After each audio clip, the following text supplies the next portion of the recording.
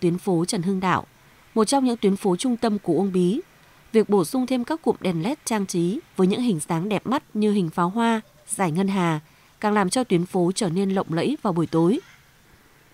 Trên đây là những tuyến đường, tuyến phố, khu vực trung tâm của thành phố Uông Bí được đầu tư chỉnh trang nhằm tạo điểm nhấn ấn tượng cho không gian đô thị, phục vụ nhu cầu du xuân, thưởng ngoạn của người dân dịp Tết Mậu Tuất này.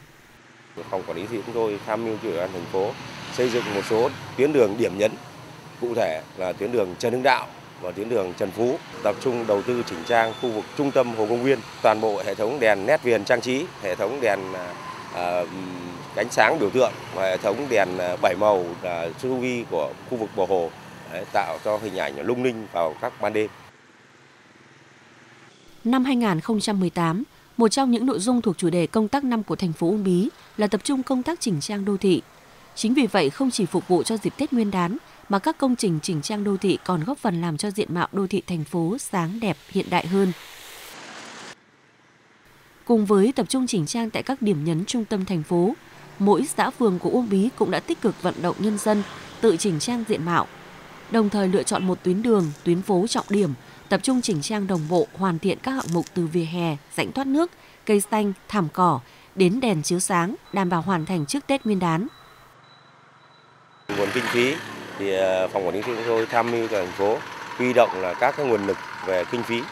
ờ, kinh phí từ ngân sách của nhà nước và kinh phí từ ờ, các cái nguồn xã hội hóa và huy động hợp pháp khác đấy, để tập trung chỉnh trang đô thị cho các cái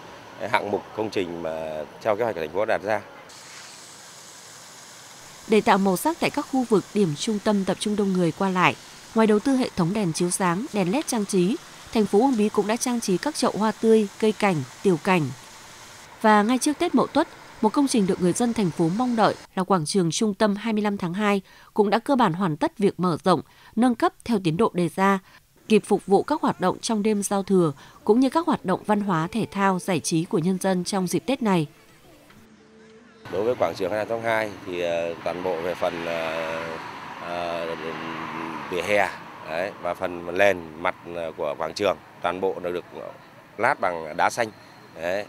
nguyên khối. Đấy, và toàn bộ vỉa hè. Và ngoài ra thì là có bốn cụm đèn uh, công suất lớn để chiếu sáng toàn bộ quảng trường và các cụm đèn trang trí. Đấy, và toàn bộ hệ thống cây xanh phục vụ cho và các hệ thống hạ tầng kỹ thuật như công trình phụ trợ. Cùng với đầu tư làm mới bộ mặt đô thị để đảm bảo cho nhân dân vui xuân đón Tết an toàn lành mạnh. Các lực lượng chức năng của thành phố cũng thường xuyên giao quân tuần tra kiểm soát, tăng cường tuyên truyền vận động người dân, hộ kinh doanh, xử lý nghiêm các trường hợp vi phạm để đảm bảo trật tự mỹ quan đô thị, an toàn giao thông, vệ sinh môi trường. Rực rỡ, lung linh sắc màu, thành phố Uông Bí đã sẵn sàng đón Tết Mậu Tuất 2018.